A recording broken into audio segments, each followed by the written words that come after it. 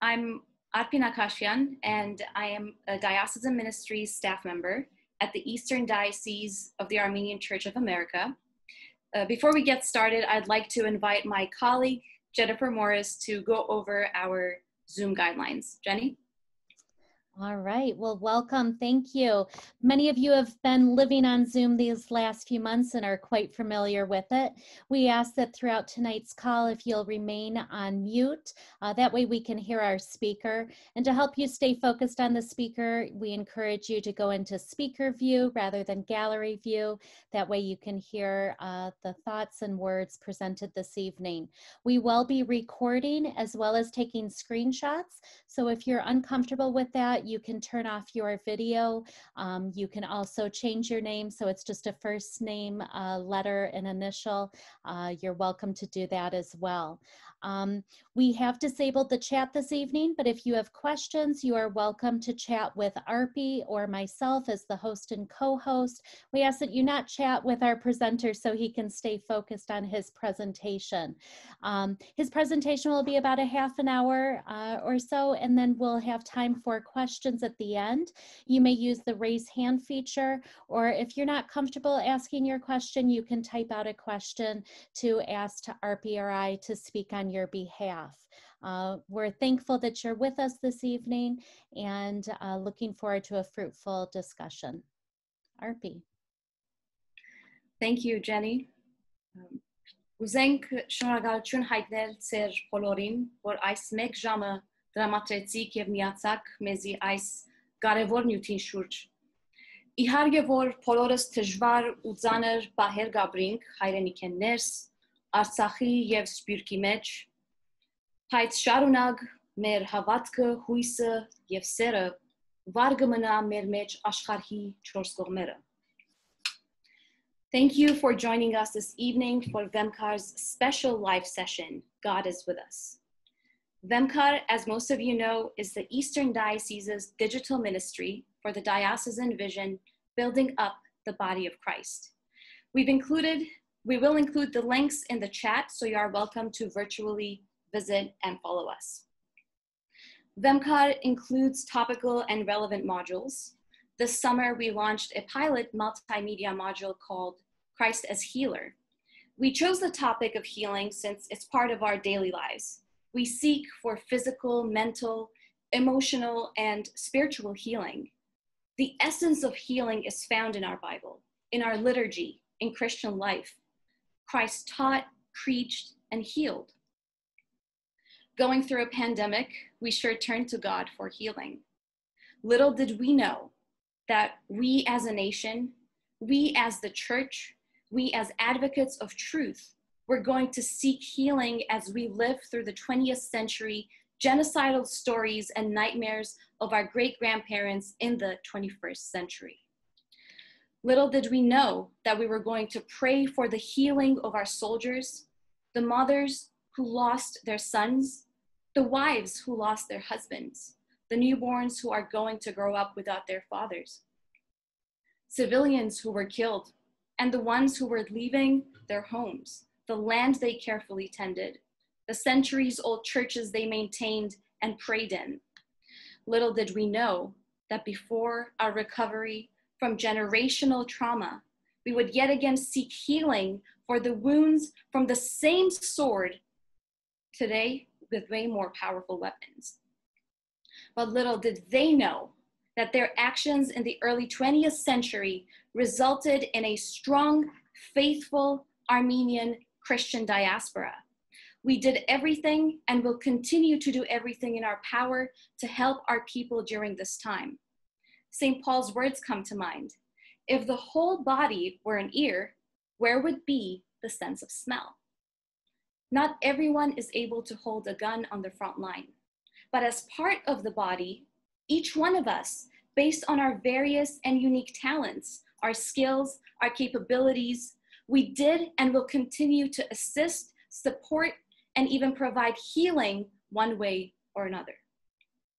Deacon Ryan Yezras Tellalian, one of my dear and close friends, a fellow graduate of St. Nerses and St. Vladimir's seminaries, not only took his camera to Artsakh, but also his training, skill set, and faith as a deacon of the Armenian Church.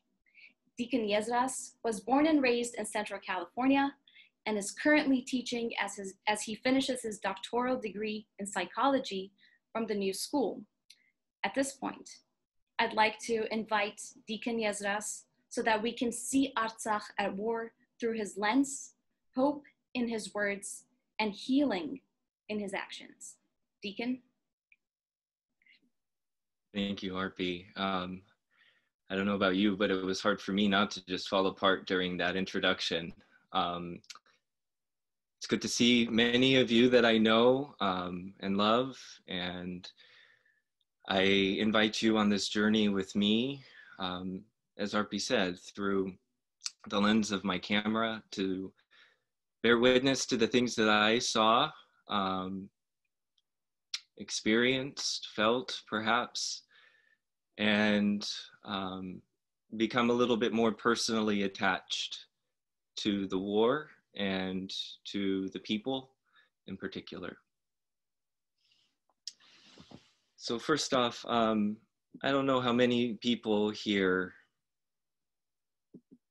have a personal connection with the war. How many people here knew somebody who was fighting on the front lines um, some people may, might not even know somebody who knew somebody who was on the front lines.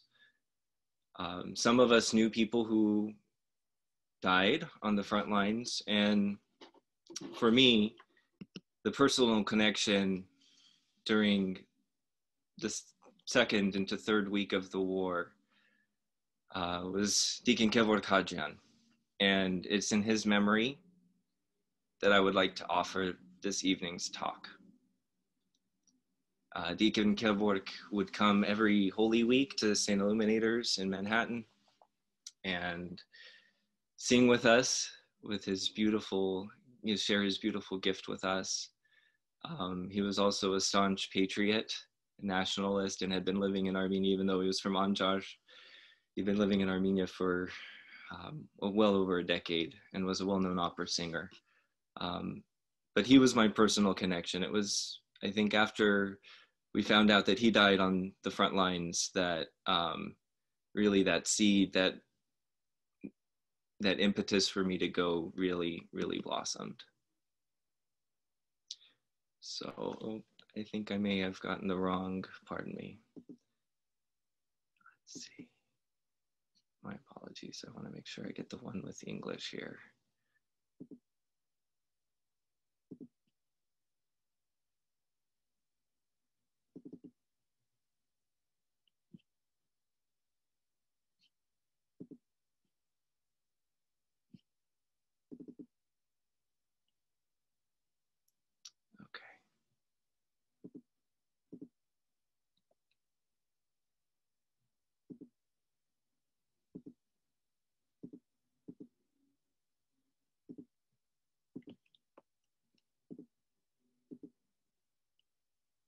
All right, so I'm just going to take you through day by day, um, sort of a diary fashion, um, the week or so that I spent in um, Artsakh and the additional week or so that I spent in Armenia. So we arrived on the 21st and, um, or I'm sorry, on the 20th. I ended up on a plane with Michael Krikorian from the New York, from uh, from Los Angeles, uh, we were both working for CivilNet and we're planning for our trip the next day to get to Artsakh and met this lovely group of teenagers on the street and they um, started to explain their story to us because you know he and I clearly stood out um, you know me with my big camera and him with his notepad. We were clearly there um, not as locals. And so we struck up a conversation. One thing led to another. We went into a coffee shop and uh, sat upstairs in this big room, and somebody else was sitting there, and they were interviewed and started singing for us. And this woman afterward ended up offering to record them, and you'll see uh, you'll see that on Armenian Vibes, um, the recording of this lovely group. And this group of kids, they came from Stepanakert, most of them, and in effort in an effort to help those back home in Artsakh, even though they were in Yerevan, they were using their music in order to raise money for the people on the front lines. Um, we were very moved by their stories. Um, they were refugees and they're all trying to help and just want to give you a little sample of their music. This is this is raw, um, like the rest of this um, the rest of this presentation. Um, it's going to be pretty raw, but here you get a sense of who they are um, and the joy that underlies their very being, even during.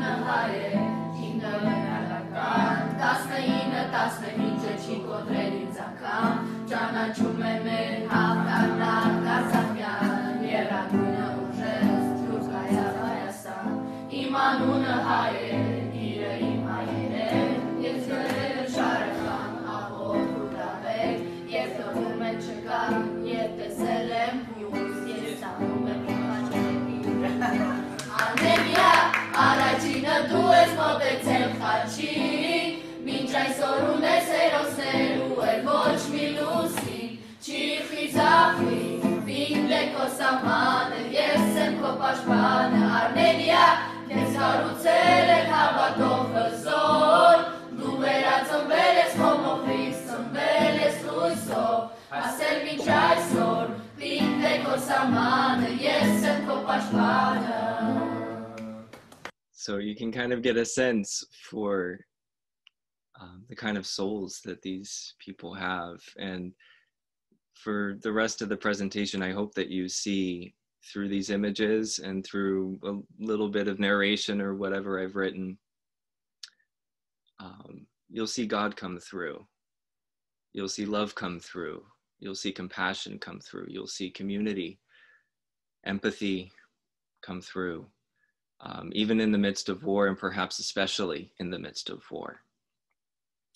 Um, it's very interesting for us then to visit a soldier in the hospital who was wounded on the front lines, and this was our first, you know, firsthand introduction to what we were in for going to Artsakh, uh, what Smerch missiles will do to a person's legs, um, what suicide drones sound like. Um, Edvard, this this gentleman and soldier, uh, explained to us these things, shared his story, which I'm not going to repeat now, and um, find it very difficult to repeat anyway.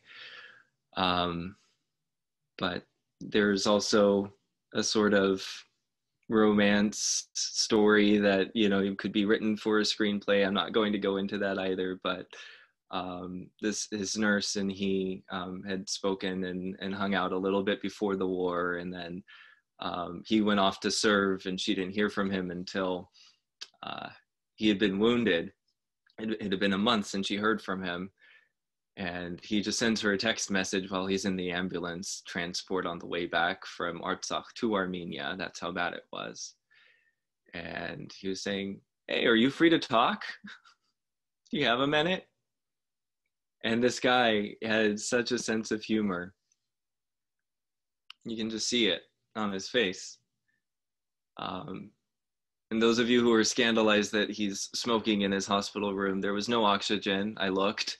Um, no hookups in the walls either. And when the doctor came in at least he put the cigarette out and then as soon as the doctor left lit another one. But um, this is this is our dear edvard. You see the joy even amongst the suffering. And so we go to Artsakh. You've probably seen pictures of this sign. And at this point, I'm thinking, uh, man, I don't, I don't feel very different. You know, I know we're crossing a border, but, you know, it doesn't feel like a war zone. at least it didn't yet. Um, for those of you who can't read Armenian, it just says that independent or free Artsakh welcomes you. One might argue that's no longer the case, at least not the way it used to be. so we landed in Shushi that night, spent the night in a hotel in darkness, lights out because we didn't want to be targeted. Um, we were right by Razan um, right across the street, in fact. And so when I woke up the next morning, this was the view from our hotel. I got to see her in all her glory, even damaged. And this is this is a symbol of our faith. Perhaps this is even more a symbol of our faith than the completed or renovated cathedral. And you'll see why in a little bit as well, I hope. And our faith, and for this man, his service as a soldier were not separable. Um, Der Varazdot is an amazing, strong man and um, just a beast. he he's stands a half a foot taller than I am, and I'm six feet. And um, he said that you know he and his brother clergy would go to the front lines and they'd go to baptize soldiers. And in fact, he was going after this this time we spent together, I translated for Michael this particular interview, and afterward he goes to the front lines to baptize soldiers before they go into battle. And I saw him a couple days later and asked how it went, and he said, "You know, it was a miracle we made it back." Um, and it was very clear that a lot of the people that he had just baptized probably didn't make it out that day. This is his work this is the work of a clergyman. This is our faith. I don't know who among you wouldn't think of Revontians, of the saints of Leon going into battle with Vartan. Um, he wears fatigues under his cassock all the time, ready to go. Most of the people, if not all of them who made it out, would use the word harashk, they used the word miracle. It was a miracle we made it out. Um, I'll have my own miracle story, don't worry. Barkev Surpazan, who some of you may know or some of you may not know, I'll just tell you, um, likely suffered. The news reports his doctor, or, or, I'm sorry, another priest saying that he likely suffered a heart attack during these times. Um, it was minor enough that he was able to make it through the war um, without hospitalization. But you can see in his eyes that he's he hasn't given up. Look at his eyes. He has not given up. This is a man who still has joy in him, who still has hope in him, who's playing with Michael in this interview. He's playing with them. this is a hero. There's so many heroes, and everywhere you turned, there was a story. This was one of the things I went for. One of the things I went for was to spend time with people in a shelter and experience it with them. And I'll tell you, there was a lifetime packed into this week. And there was a decade packed into the couple of hours or so. I don't even know how long we spent there. There we didn't keep track of time. And we weren't the type of press, the type of journalists to just come in, get our story, take some photographs and leave. I saw that. It was awful. Um, this family fed us from this very pot of tanabur.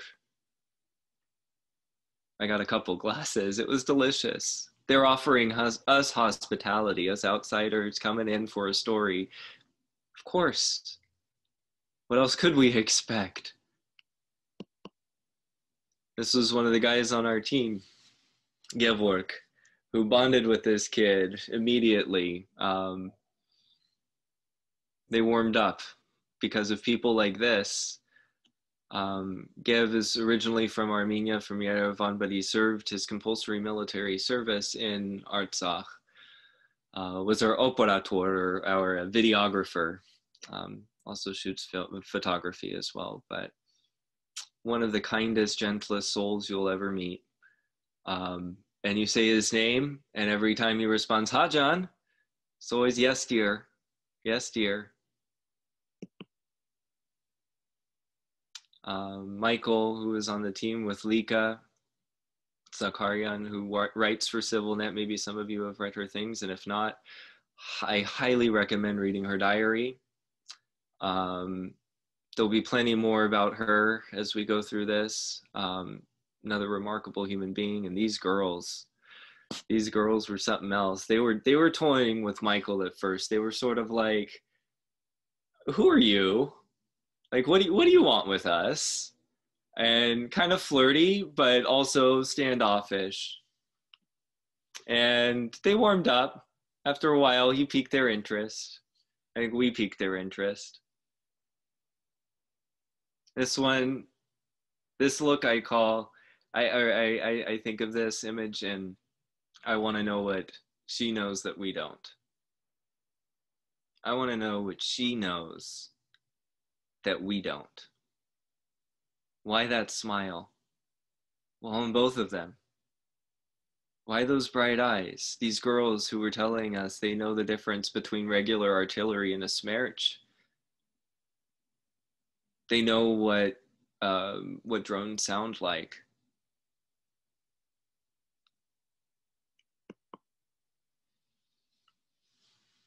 This is in the room adjacent to where we were.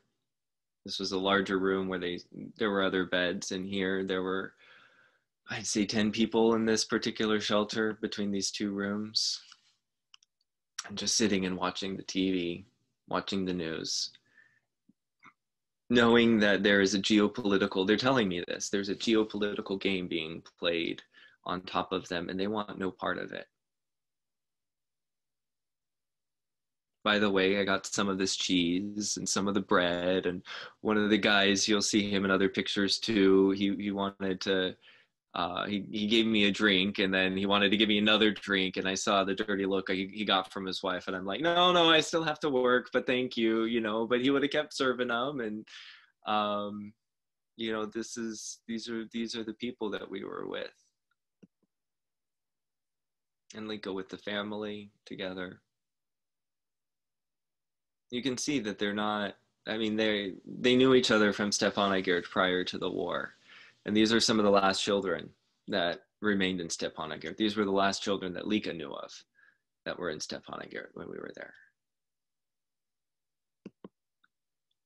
And again watching watching the news watching this game being played while they hunker down in the shelter with the siren going on and off and on and off and on and off and never knowing when you needed to run downstairs, never really feeling safe going outside. This guy was the one that wanted to get me drunk.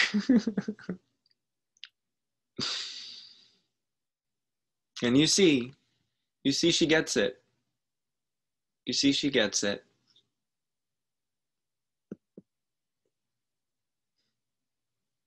And amidst all of the pain, amidst all of the fear,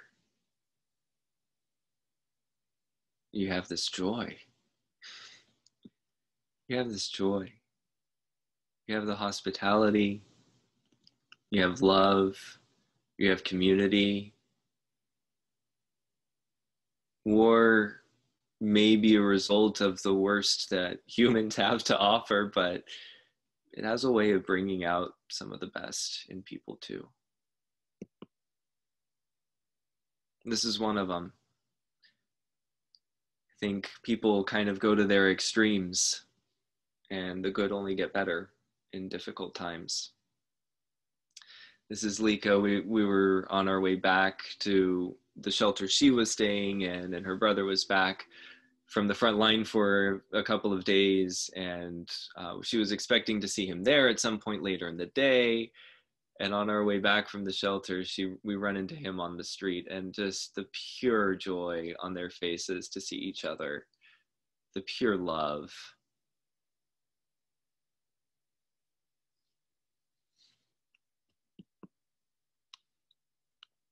This is down in our shelter, just so you get a sort of visual of what we were dealing with. This is downstairs um, in our hotel, and the sandbags, of course, to prevent, um, you know, anything from flying in, and the windows. Clearly, somebody knew what they were doing when they taped up these windows. Um, so this was a little smoking spot, and people would just go out and hang out. And we spent a lot of time downstairs in this in this communal area together. As uh, there were a lot of journalists in the in the hotel. This is one of the main rooms we were in. I spent my first night there because the siren went off there's a whole story there I don't necessarily need to go into now, maybe if there's time later, but I went downstairs with the first siren and hung out there for an hour, hour and a half with everybody else. And then people trickled up. And then, as you would guess, five ten minutes, the siren goes off again. So grab our stuff, go back downstairs. I took my sleeping bag and pad that time. I came prepared and uh, spent the night down here. And there was this lovely little kitty that joined me. And I think I've got some pictures of her later. But um, she's a whole story in and of herself. Um, couple little segues. This one is about the new words that I learned or the phrases that I heard commonly around um, during the war. You know, I, I went to seminary where I learned most of my Armenian, um, at least to start off, and um, learned how to do sermons and that, these kinds of things. I wasn't prepared for wartime terminology. You know, apostaton, like I'm, you can use that theologically, and maybe um, Dr. Irvin will get upset at me for not knowing um, a slew of references that I can just exegetically pop out. But anyway, apostaton was one that you know I had to learn. Azdaneshan, which is the word for alarm. That's not that's not generally a word you hear used theologically.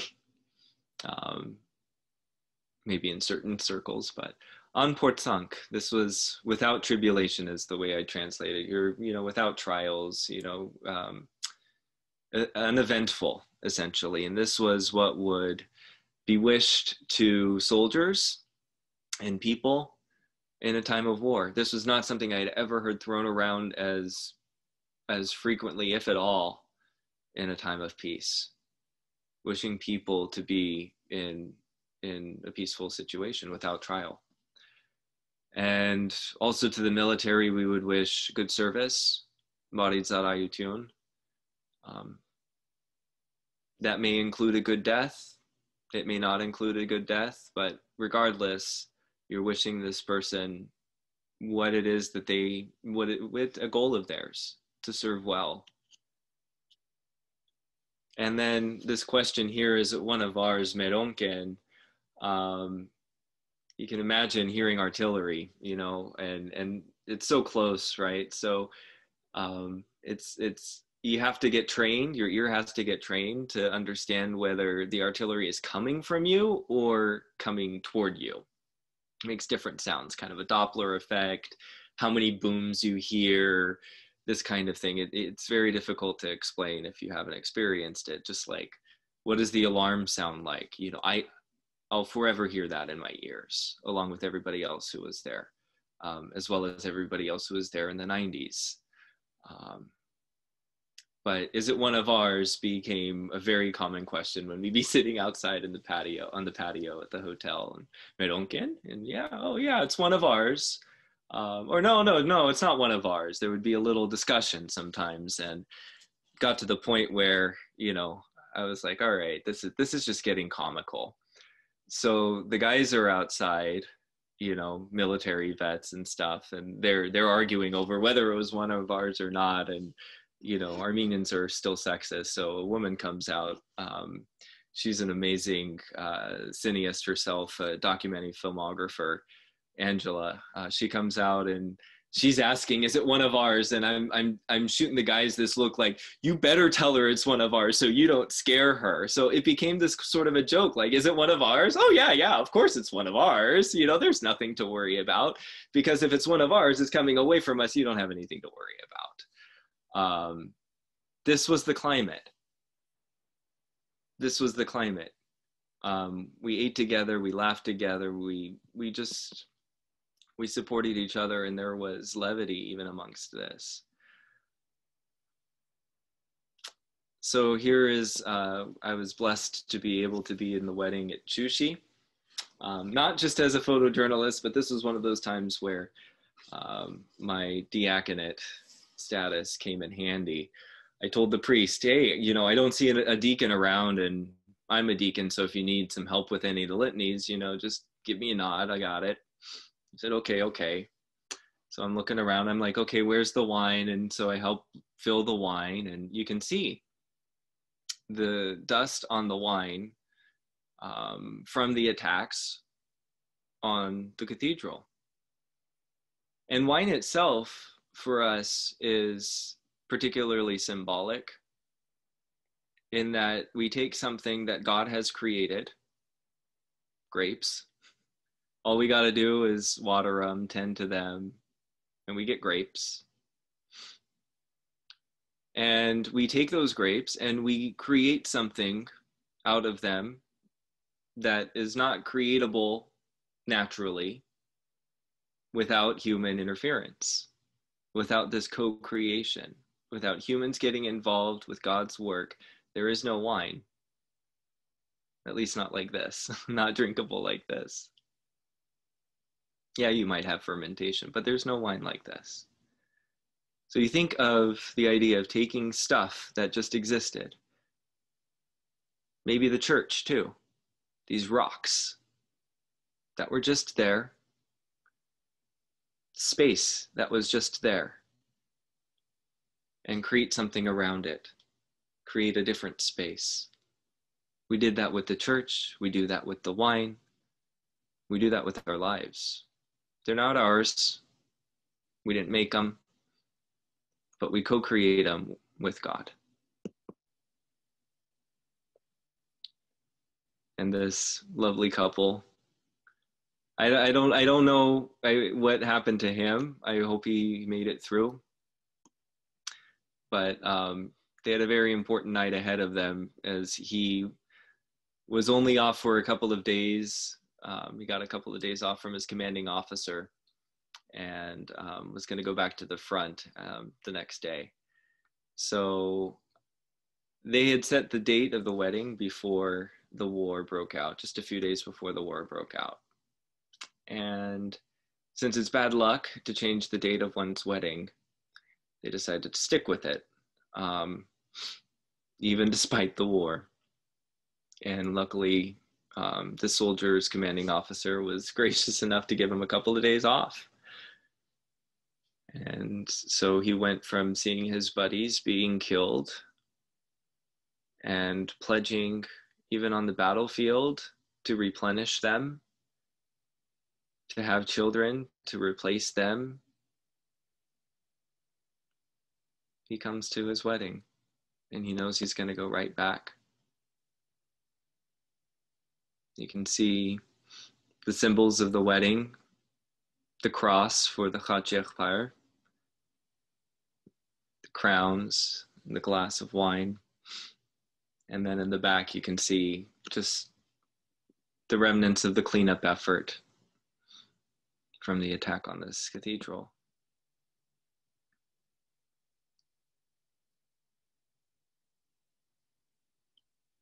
I started singing.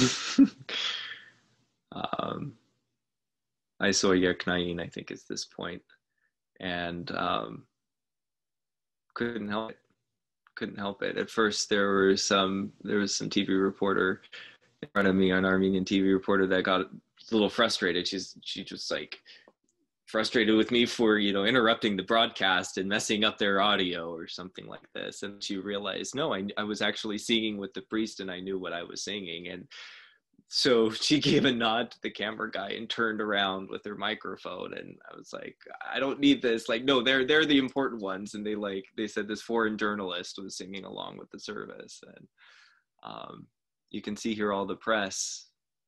There's no congregation. There are no people it's mostly us you can imagine we the the the importance of this event was is not to be underestimated. There's a reason why there were this many press here, and why there were so few people. By the way, uh, remember, they fled a war.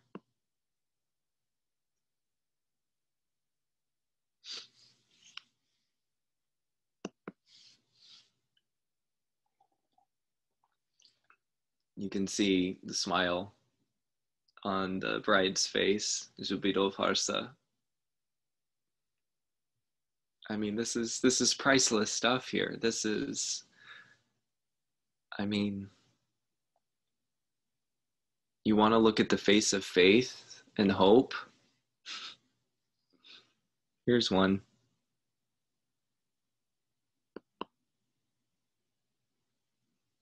And punctuated by periods where you can see serious.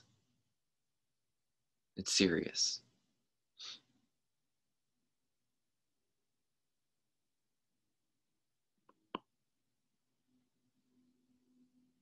This is another one of my favorites in terms of its symbolism, because you just add to what I was saying about Kazanjitsots at the beginning, and you add to that the fact that in the middle of the war, here they are getting married. And there's a smile on their face, on the both of their faces. You'll see toward the end. I'll, I'll have a close up of that.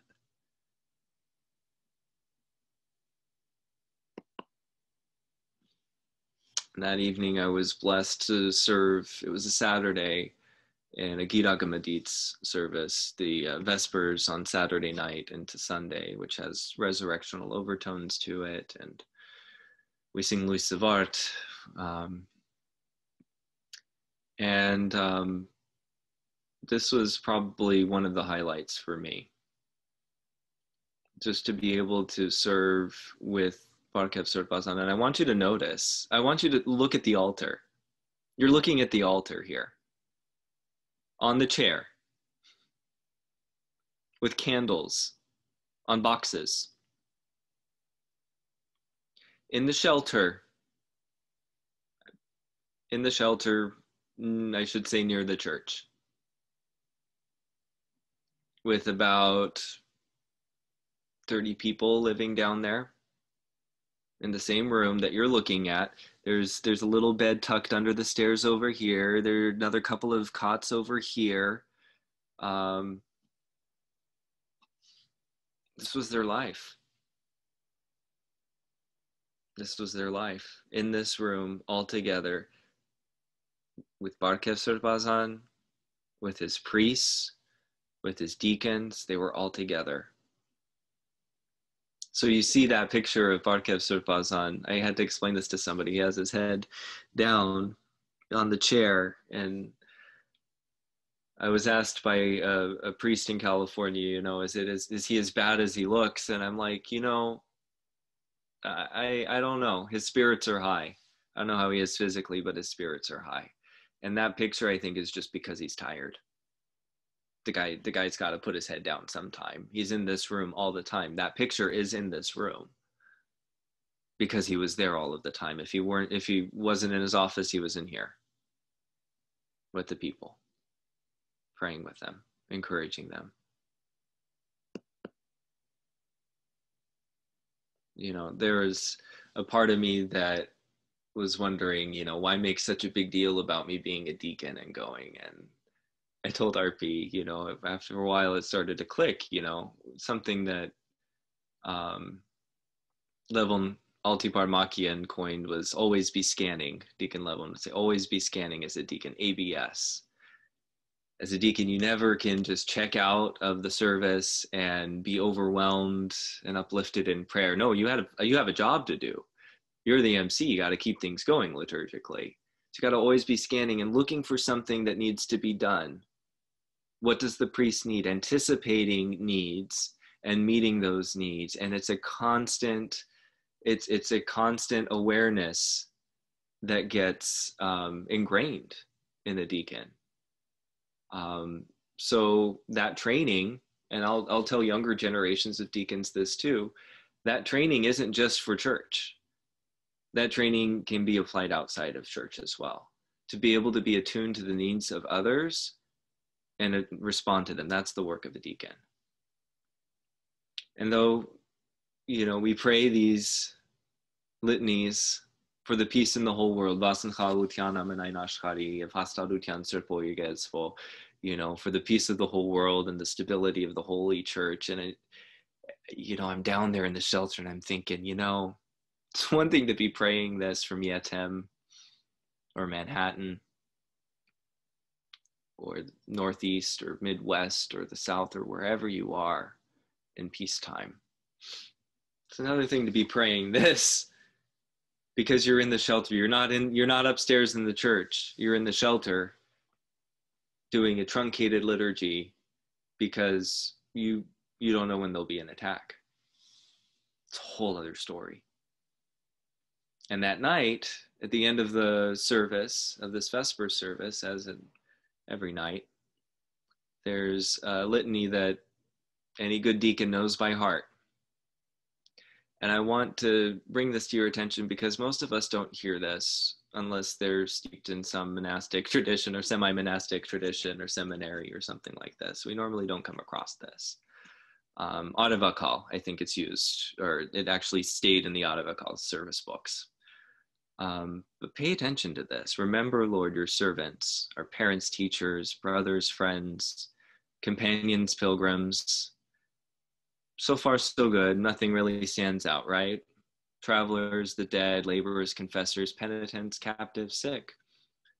Okay, those who are suffering, leaders, all sounds fine. And then malefactors, uh, those who would do evil to us. Mentioned here, I might add, before benefactors, before esparadaris. And then you have our enemies, those who hate us, hate us.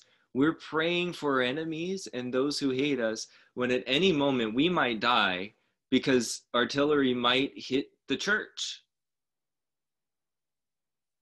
Artillery might hit us while we are praying these prayers. Do you understand? This is faith. This is what Jesus meant when he said, Pray for your enemies, love your enemies, pray for those who persecute you. This is what he meant.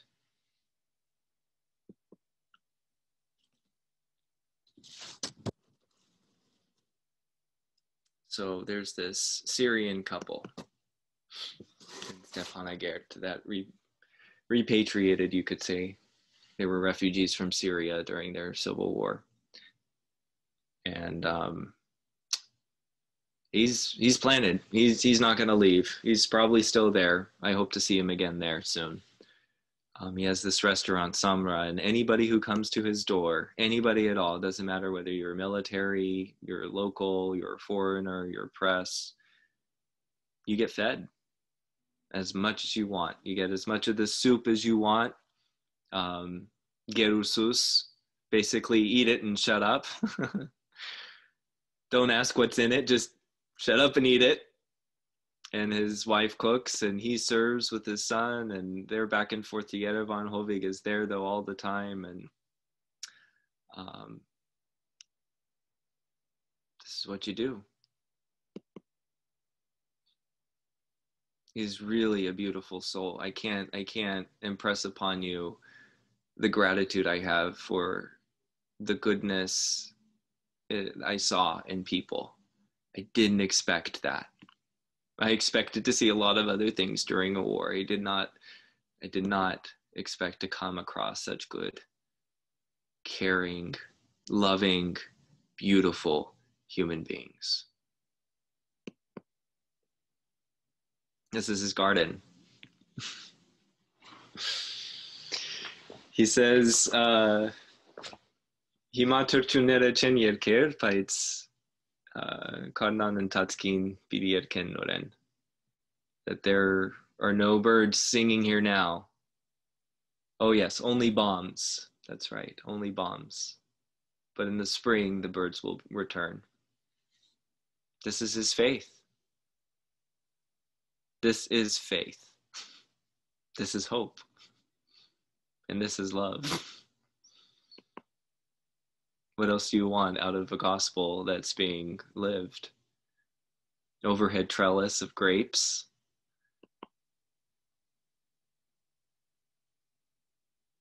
He knows, he knows, he knows Stepanakert could be done any day. Look at him. Where else would he rather be? And what a lesson. Isn't that for our lives? Even when there aren't bombs going off around us, missiles and drones overhead. Why would we want to be anywhere else? How, like to, to have that kind of experience in a time of war.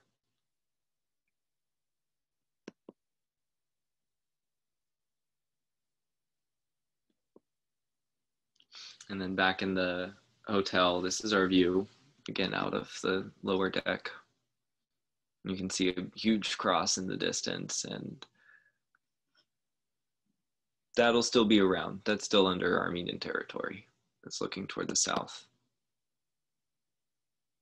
Again, with the bags. This is our view. This is our view. All right. Then you've got Lika um, who is one of the kindest, purest, most loving, good people you'll ever meet. Um, again, just a blessing to know this person and her dad to meet him and understand that there there's a reason why um, there's a reason to still hope there's a reason to hope in humanity and the goodness in the goodness of, of humans and what we can do and what we can be um, even when our home is being attacked um, you can read about Lika on CivilNet. Um, she writes a daily diary. If you haven't seen that, I would highly suggest it and follow her experiences. She's back in Stepanakert now um, I was just in contact with her today and doesn't know where she'll be. Um, trying to decide whether or not to convince her family to get out of there or they're going to plant themselves there or what's going to happen. But um, amidst all of this uncertainty, you you see the kind of people they are. I don't have to tell you.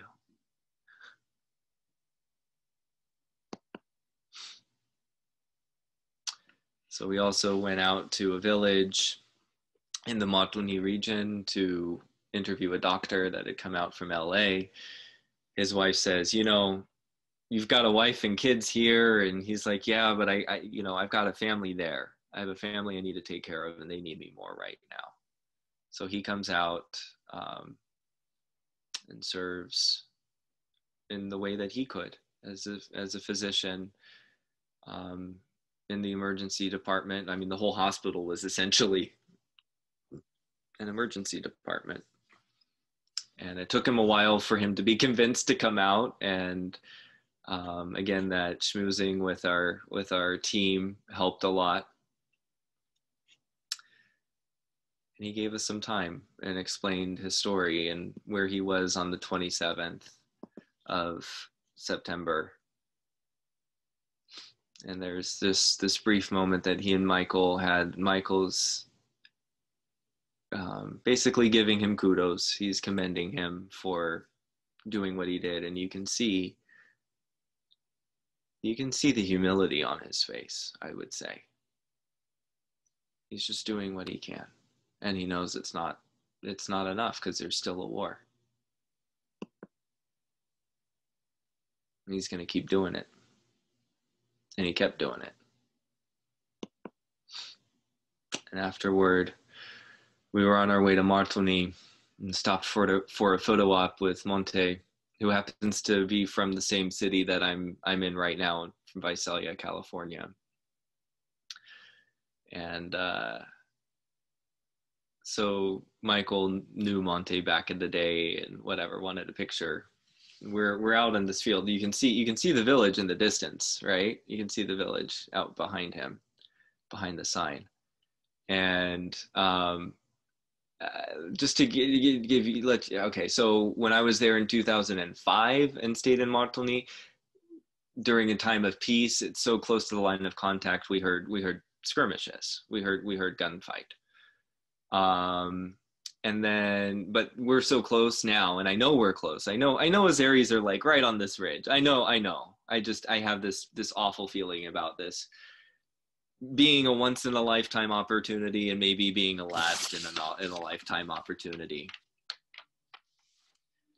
So not after not 10 seconds after this was taken. You know and and and by the way too i don't know if you know this but the Azeris would you know capture these villages so to speak and you know raise their Azeri flag. And it was a big deal to have a picture with the name of the city or the village whatever um, to show that it was still yours. So i'm thinking I, I just have this feeling like we're being watched. Like they they they know we're here. We're in the middle of this field. Like they, they know we're here. Martuni was te- was contested during the war. So not 10 seconds after this, about 100 meters away, uh, artillery falls. We were just a group of journalists. We had press on our, it didn't matter. You feel the impact under your feet before you hear it. So I instinctively dropped to the ground and then something happened. I focused. You're there. And in that moment, you know that, well, if it were a smerch, I would have been gone. If I didn't hear it, I would be gone already. Nothing's bleeding. I'm alive. And how can I go up against this artillery? So, really, it's a life and death moment, and there's nothing I can do about it one of my friends, a military vet, a Marine, I called him to consult him after the F 16s got flown to Baku and that whole thing. I'm like, what do I need to worry about? Anyway, and then this happens, and I, I call him, I'm like, you know, something strange happened, and I just was able to focus. He's like, yeah, man. Some people do yoga for years you know and they talk about radical acceptance you know and and magnanimity with all of their thoughts and this kind of stuff and non-judgmental attitudes to their emotions and he's like all you need to do is go to a war zone because there's nothing you can do you're faced with death and there's nothing you can do so you just got to accept it you got to accept that you're still there and that every breath, every breath is a gift. So then on our way back to Stepanakert, we pass a village that has been attacked and this this is this is one of I think this is a cool shot because you get to see the cows in the foreground, right? You see them? You see them there? They're just hanging out in the pasture while their village is burning behind them. There are some people that prefer humans to, or animals to humans, rather. Wonder why. So on the way back, um, on a hill just above us, about 50 meters or so, because the car was going, we couldn't hear the telltale signs that there were drones above us. You know, the sound of two motorcycle engines is the best way to describe it. Um, thank you, Edvard, the the injured soldier from the beginning. But uh, we didn't hear the drones because of the car, but all we heard was boo, boo, boo, boo, boo, boo.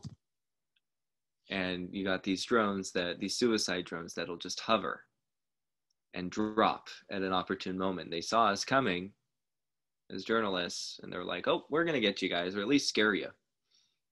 No military targets. And so again, we stop, focus, and shoot because that's what we're there for. Gev is with his video camera. I've got mine taking still shots, and then we just continue home. And you know, as as another person who I met there, Chuck Holton, uh, said it's just it's not really a fair war. It's a cowardly war, and this is one reason why. And they would kill us just for being there. They would kill us just for being there. Um, I want to share just a brief story, and I'm I'm wrapping up soon. But I met this mother. She was at the hotel that we were staying at, and she's sitting on this couch as I'm coming down the stairs. And I see her, and I'm like, something is up. I met a mom whose eyes stared into infinite emptiness. I ask if something is up. She answers, the worst. I had three sons. They're all together now.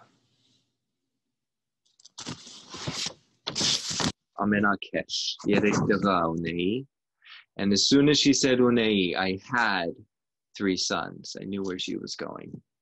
And now they are all together. And so what do I do? What do I say? What what what would you say? or do in that situation. Just put yourself there in the middle of a war and this this woman who cleans your room like a mom would just lost her third son. All I could do is draw on my CPE training and just shut up and be with her.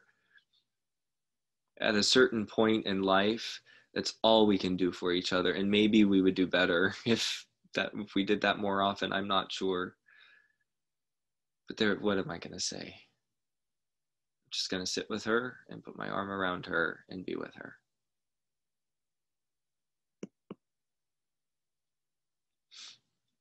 So we leave artsakh on the 28th we leave stepanakert we get past shushi and then Michael goes. We have to go back to Stepanakert to go get the his passport that he left at the hotel. It was just like, of all times, in the middle of a war.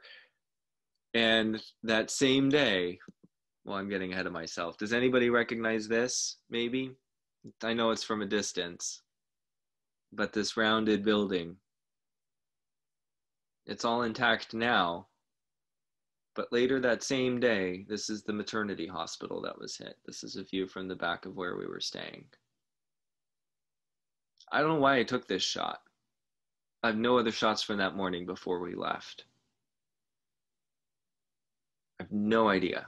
I found this, I, I realized it after I got back to the States that I had a picture of the maternity hospital just before it got bombed. So we went back to go get Michael's passport and we're leaving Stepanakert and we start to hear the shelling behind us. We get up past Shushi and we're like, okay, we can take a breath now. But we couldn't even park on the side of the church in Shushi because it was too dangerous. And I thought, oh, you know, maybe they're being a little paranoid. And then I'm thinking, no, probably not. And then afterward, definitely no, not paranoid. So this is RP, who is a refugee um, now in Goris, and she gave an account of the night of morning of the 27th, um, what she was doing and, and her prayers, her prayers for peace. Um, she turned to reading scripture during the, the attack that first day. And Mike Mike pressed her. He's like, "What were you reading? What were you reading?"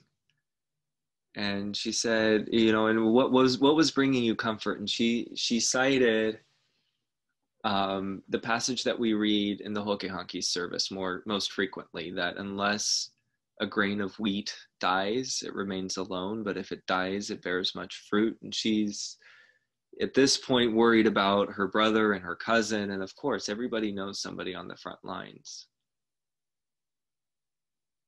You know this is this is faith to me. This is this is another face of faith.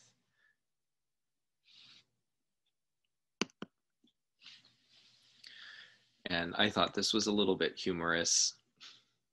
Caution beware of falling pears i mean we're in Goris at this like resort hotel and there's this sign because you know in peacetime falling pears you got to be concerned about falling pears um, not so much so here. Just like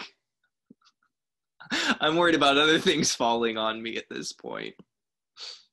And they're still making wine.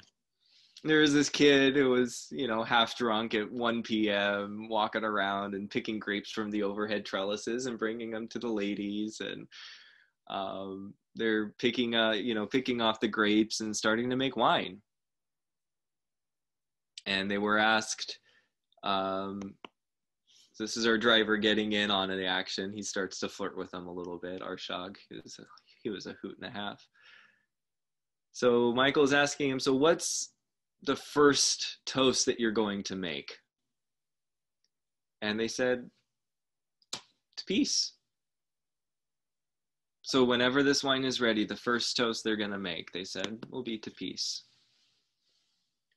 As the artillery falls, as the rocket falls from our backyard. And again, going back to co creation,